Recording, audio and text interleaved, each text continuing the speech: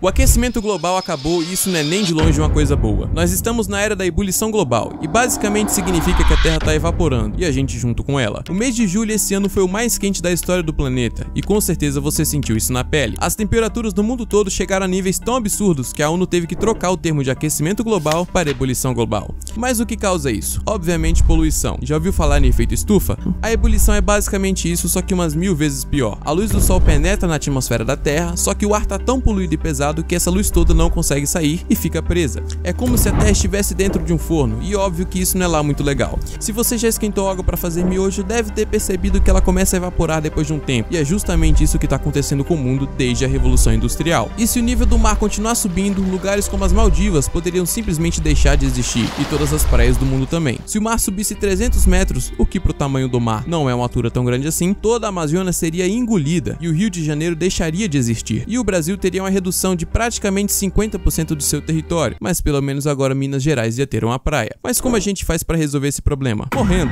Sim, morrendo. A situação tá tão crítica que o único jeito de salvar o planeta seria se a população inteira sumisse por pelo menos uns 50 anos. E depois de 50 anos sem nenhum ser humano pisando na Terra, até o rio Tietê ia ficar limpo. Mas tem alguma outra forma de resolver? Olha, ter até tem, mas deixa eu te falar, não vai adiantar muita coisa não. Desde os anos 20, o mundo é regido pela indústria do petróleo, e os donos dessas empresas não estão nem um pouco dispostos a encerrar ou diminuir suas atividades atividades, porque o mundo precisa de petróleo. E também porque petróleo dá dinheiro pra caralho. Uma forma de mudar o mundo seria se do dia pra noite todos os carros virassem elétricos e toda e qualquer forma de combustível que não viesse de uma energia limpa fosse extinta. Mas convenhamos, isso não vai acontecer nunca. Então o que resta é aceitar mesmo. Já tem 100 anos que o mundo tá caminhando pro seu fim e a gente tá bem na pior época de todas.